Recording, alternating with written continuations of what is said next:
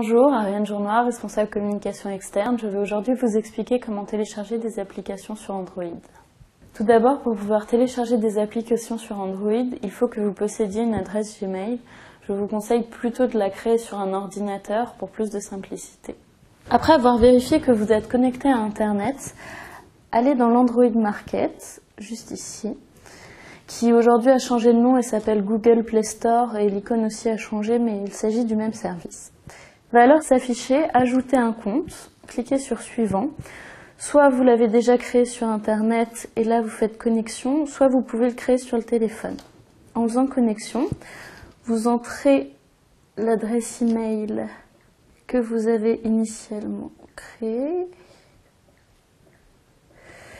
puis vous entrez le mot de passe et vous pouvez ainsi vous connecter. Là, vous cliquez sur suivant. Vous pouvez maintenant utiliser le, téléphone avec votre compte Gmail. Il vous faudra après accepter les conditions d'utilisation de l'Android Market. Et vous êtes enfin connecté à l'Android Market. Pour télécharger une application gratuite, comme celle-là par exemple, au choix, vous pouvez la télécharger directement. Vous n'avez pas besoin de renseigner quelque information que ce soit. Par contre, pour télécharger des applications payantes, il vous faut un Google Wallet.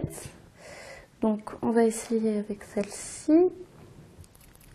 Lorsque vous essayez de télécharger une application payante,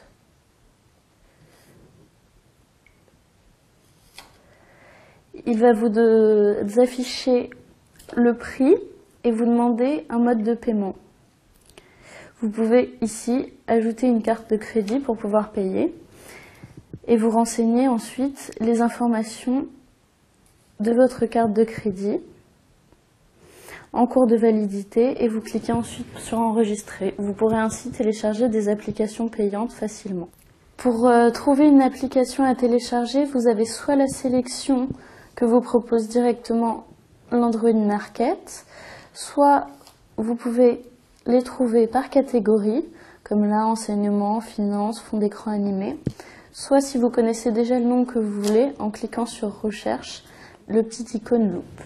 Pour supprimer une application sur Android, il suffit d'appuyer longtemps sur l'application et de la transférer dans la poubelle juste en dessous.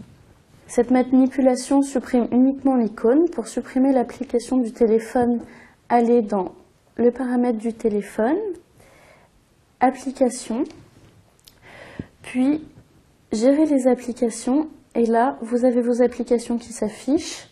Vous voyez le Google Play Store qui s'est pas encore mis à jour.